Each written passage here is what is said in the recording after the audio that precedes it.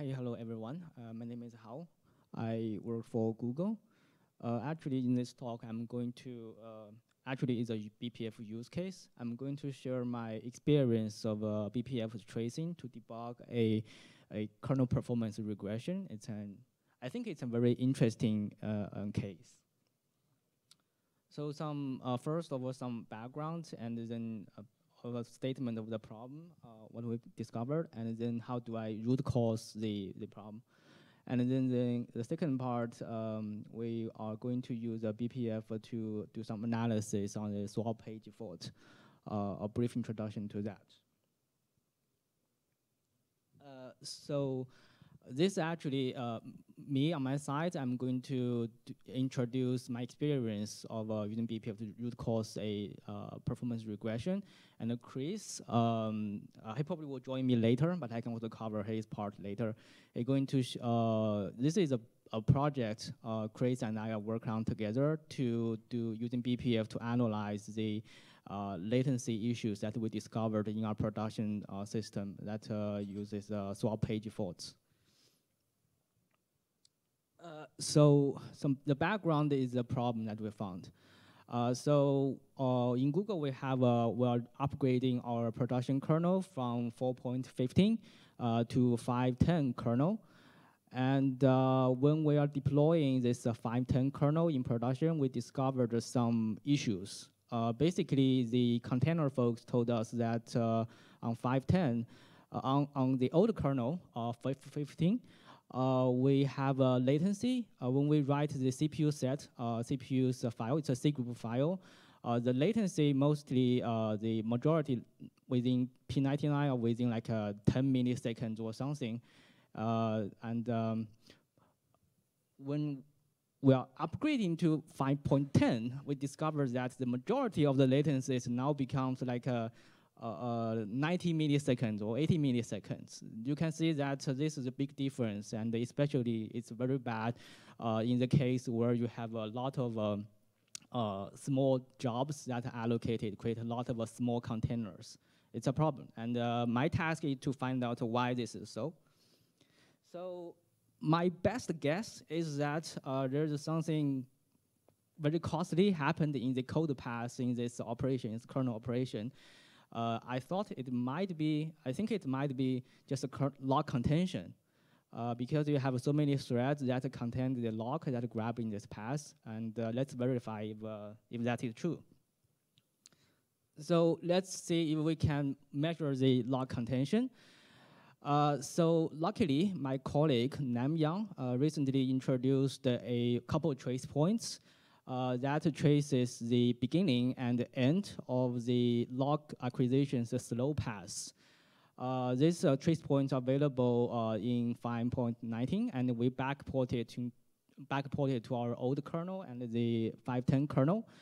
And uh, with these uh, trace points, we can measure the time that a thread spend in the contention path. That's the slow path. Um, so when, when a thread acquires a lock, it first goes to the fast path. It basically is a try to say if the lock is available, just to get the path. But if the lock is not available, going to the slow path. And the profiling uh, I scoped, uh, scoped in the special function. That's a function, the kernel function is the code path that uh, I'm interested in. That's a CPU set write arrest mask. And then I collect the samples for the time durations uh, in this uh, lock contention.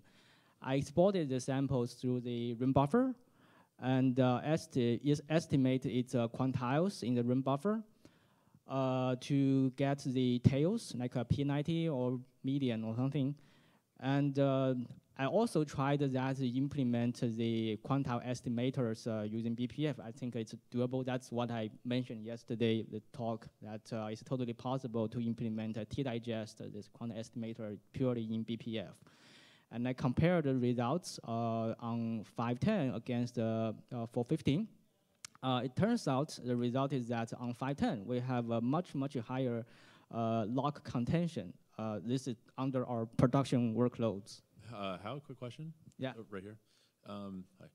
Uh, just out of curiosity, did you guys try enabling like lock stats and kind of using like the built-in kernel mechanism for tracking contention, or was the idea to just not have to do anything and just use BPF without?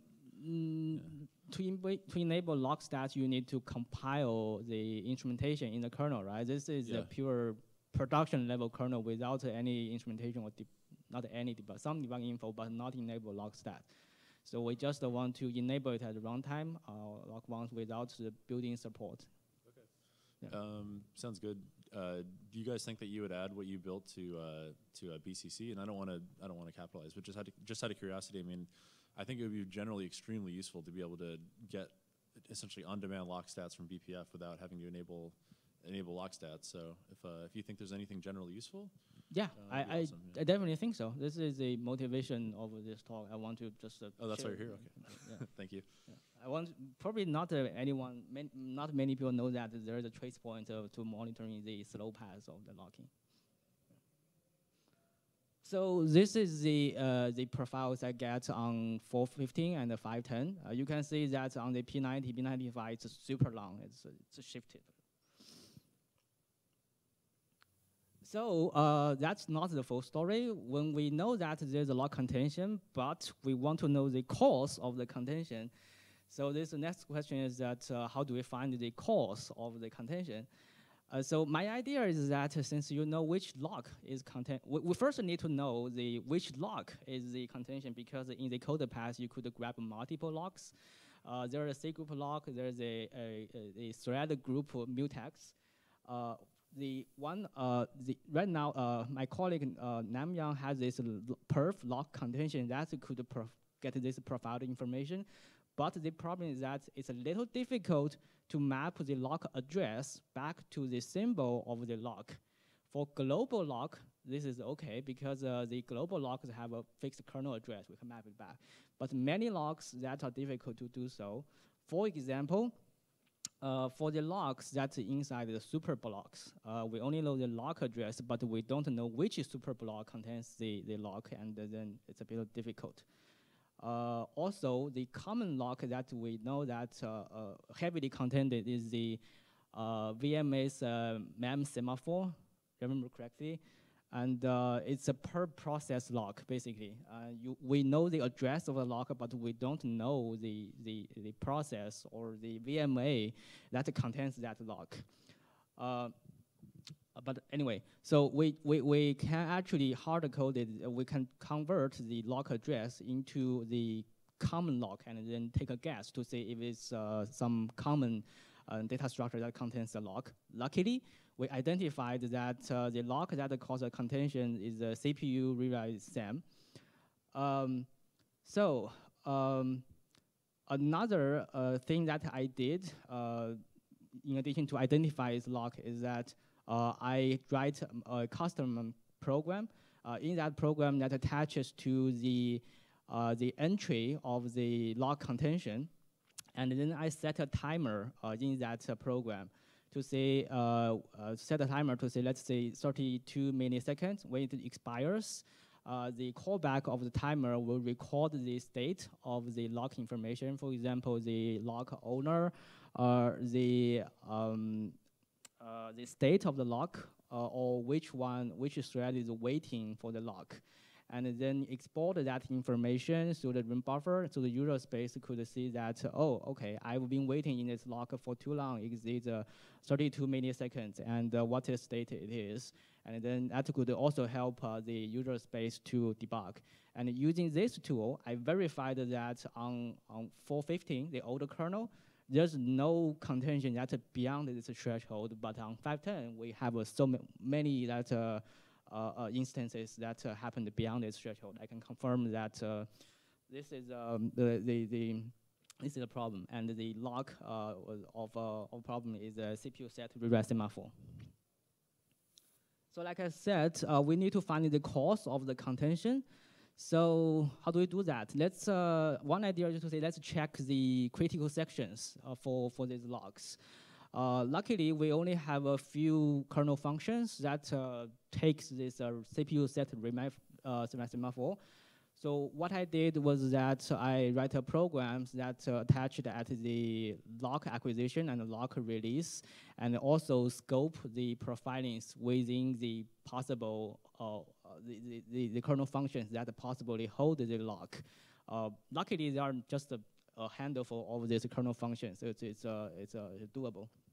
Uh, so by profiling the length of the critical sections, I discovered the kernel functions that uh, takes uh, too much time uh, holding this uh, CPU set from So I think one thing useful is that uh, look you can see there's a pattern, right? We want to have a scope or profiling within some uh, a single entry, for example, like a, a, single kernel function or some set of kernel single functions, and um, uh, I think this will be something might be a useful uh, uh, a helper to be added as a library that could be shared for many log profiling results.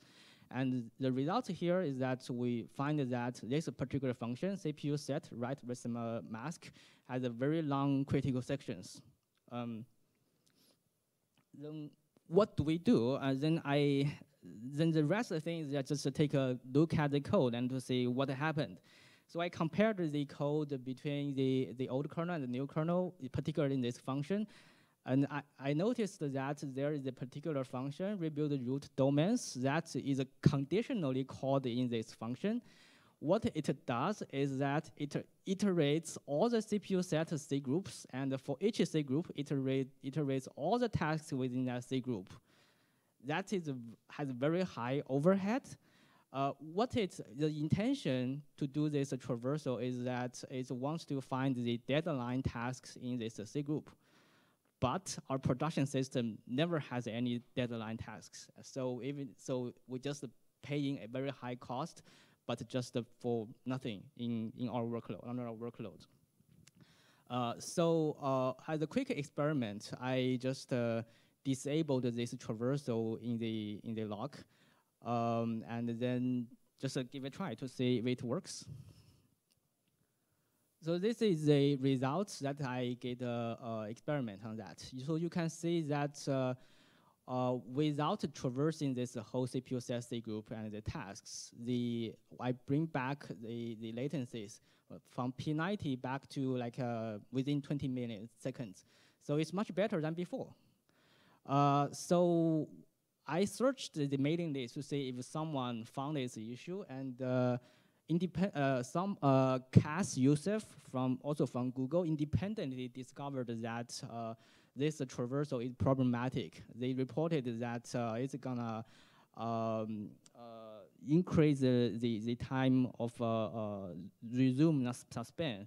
Uh, but the scale they reported is much lower than what I found here. We, I found that it's uh, increased for, for 60 milliseconds. Probably on his uh, on his environment with a mobile system, it's not that many tasks. It's more like uh, 20 milliseconds, but it's still a, a problem. Uh, so we independently found this and reported to, to upstream. And, and then there's a fix that is coming. And but one thing to note that is uh, there are still tails uh, even after this fix. You can see that there are still some, some samples that are between uh, 20 milliseconds to 200 milliseconds. What's wrong with that, actually? Uh, so it, so the rest of the thing is uh, something was uh, I didn't use BPF to to get an answer. Uh, so I noticed that uh, on the older kernel, the lock was a mutex, uh, but on the new kernel, it's a per CPU rewrite semaphore. Um, in the per CPU rewrite semaphore, probably is a less known fact that the writer or the, the writer path to get the that uh, per CPU rewrite semaphore will be heavily penalized. The reason is that it will have to call a synchronized RCU uh, to wait, and then in order to get the lock. But uh, the trade-off of that is that the reader of this uh, per CPU recimal can get the lock match faster. Uh, so what I tried was uh, to I tried was to switching from this per CPU recimal to mutex, and uh, now you can see that the tails uh, beyond this 20 milliseconds are now gone. Uh, so this is a two, I think, two important fixes. We need to have it in the upstream kernel. And uh, luckily, that uh, um, yesterday I, I, saw that uh, uh, the fix is already merged by Tejun in the C group branch. So I think it should be available in 6.5. Uh, the second part is about something we want to use BPF to analyze the uh, swap page fault. This is a kind of a collaboration with my colleague Chris Li. Um, okay, he probably in the in, in the MM uh, track, uh, but uh, but I can basically cover that. Uh, we also in our production system we also have some issues of tail latencies when we um, when we get this swap page fault uh, and we have no we, we don't know what happened. Uh, the very first thing that we want to get is that uh, at which stage uh, this uh, tail latency come from. Uh, I, so Chris provided me a list of kernel functions and then break up, break down this this handle MM fault into several steps, give me the key kernel functions. And then we put the um, uh, the BPF programs to take the timestamp and uh, each uh, step, and then to do a calculation to measure the, du the duration of each, um, each steps. So some results Chris found was that they, they put his, his analysis into some experiment machine, some experiment workload. Uh, he found that uh, the contributor for the tail latency comes from this uh, a free swap slot and uh, uh, yeah, basically it's a free swap slot. Uh, so this is actually a very good indication for us to have a better understanding of uh, what happened in our production system and uh, where we should be looking at next and what's the cause of that. Oh, this is 515 kernel. And Right. Uh, so yeah, so this is actually the very first step we want to use in BPF to understand the our system, especially to capture these uh, long tails in many kernel operations, like a page fault or, or kernel operations. Uh, further, we want to take a looking at develop more kind of a BPF uh, profiling tools that to analyze this uh, uh, swap page faults uh, results.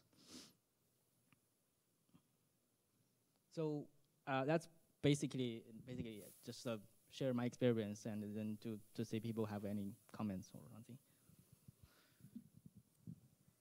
Uh, uh, one thing I think it should be beautiful, I think maybe related to the talk later, is that uh, uh, we also have some observe some contention in from coming from Superblock but we can't associate the lock address to the superblock's address. So we don't know which file system caused the contention.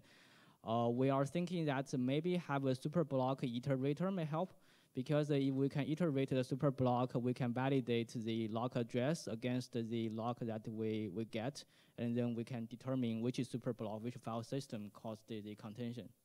That's it's a, a Thank you. Super interesting talk. Uh, please, as uh, David said, please open source everything you can. Okay. and uh, stuff that you cannot, like we'll take a look. Uh, really awesome stuff. Uh, for the uh, address of the lock, do you have a trace point in the things like mutex and init? Because I think currently they're all at least for the spin lock. I'm not sure whether they're for mutexes maybe as well. So if you put a trace point there, you potentially can just like collect all of the addresses. So I think my understanding why you can identify the dynamic uh, addresses, like inside the dynamically allocated structures logs, because well they are dynamic, right? So so if you have uh, because they go through the, through the init, you just put the trace point there and record all of the addresses. It we, we know the lock's address, but we don't know the kind of the owner's address. Is that the question you're asking? Yeah, but I'm saying like when you record the address at the time of init, You do it once. You know the address of what you need, and, and you collect the stack trace, so you know like where it's being collected, and then the where it's being emitted, and then humans can easily identify.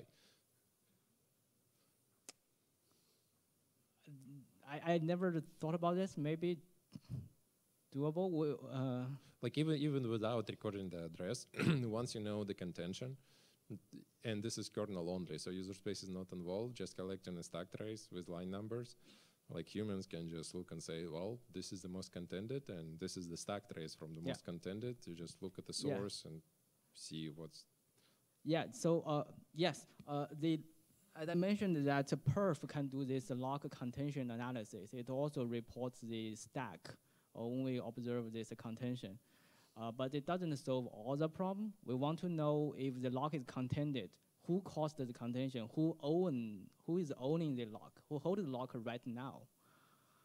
That is actually uh, more valuable information or important, but not all the locks records this owner information. Only mutex uh, and the rewrite semaphore, not all of them.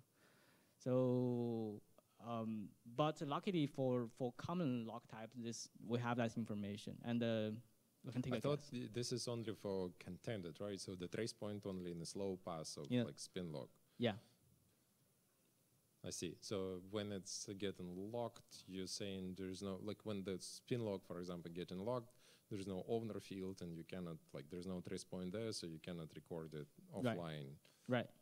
We, we don't know who holds the lock, and uh, there are locks that uh, the lock acquisition also inline, so we can also not trace this uh, lock acquisition function. It's very difficult to get uh, to keep track of who owns the lock right now. Um, that's the main problem. But luckily, in some common cases, we, we can identify the lock and the owner of this information.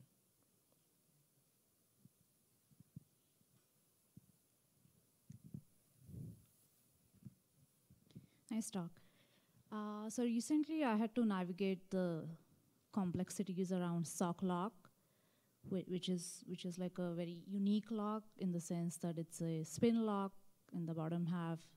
It's a mutex uh, when you're contending with the user space Yeah. code. I, was wondering if you can extend this framework to inspect the sock lock. So certainly you can. We, the trace points are already added for all all the types of uh, lock in the kernel, spin lock, mutex, rewrite semaphore, all of them. The problem is that how do you map the map the lock address into the meaningful context? Map to is a probably uh, socket or, or something. Like Alice said, we can record the stack trace to get a better knowledge. Uh, but exactly who owned the lock or, what object contains the lock is uh, largely um, no unified solution in this. Okay, uh, but I was wondering, like, ca- can you dump more context around the lock?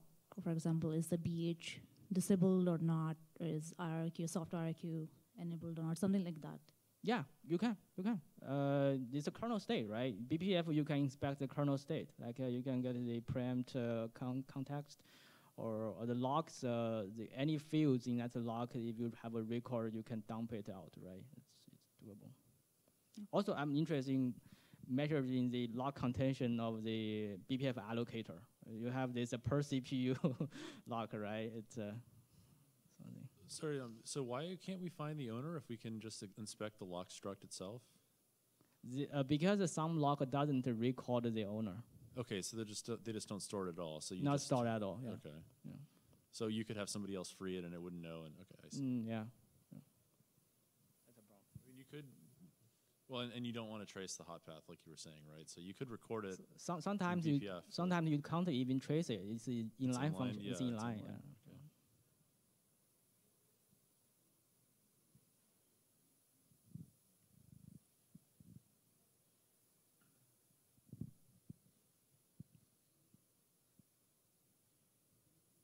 Any other questions, feedback? All right. Thank you very much. Yeah. was awesome.